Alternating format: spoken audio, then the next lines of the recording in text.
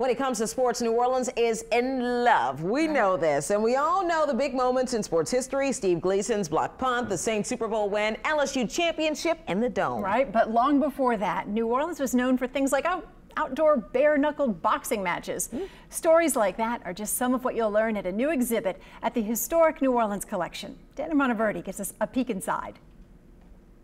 Football is arguably the king of sports in New Orleans these days, but that wasn't always the case. There were more than 30 rowing clubs established in New Orleans in the decades after the Civil War, and it was arguably the most popular sport in the states at the time.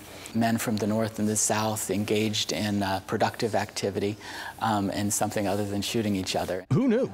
Lessons like those are what you'll learn at the Historic New Orleans Collection's new exhibit, Crescent City Sport Stories of Courage and Change. Well, we tell 20 stories um, in the exhibit. The stories curator Mark Cave and his staff have put together are fascinating.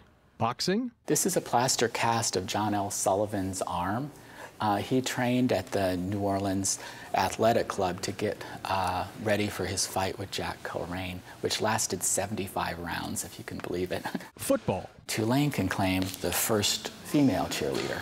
Uh, in the country? In the country. Cycling. They'd have an annual Thanksgiving Day race from the corner of Claiborne and Canal um, out to West End, and they would convert uh, train into a moving grandstand which would follow the race out to West End.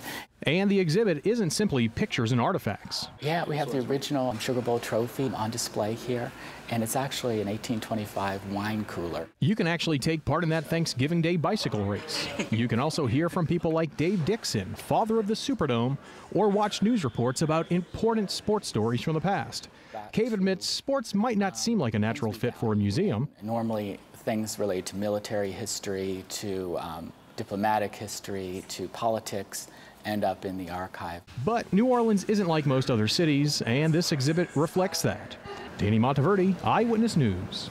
Today was opening day for that exhibit, and it runs through March 8th. The address is 520 Royal Street, and best of all, admission is free.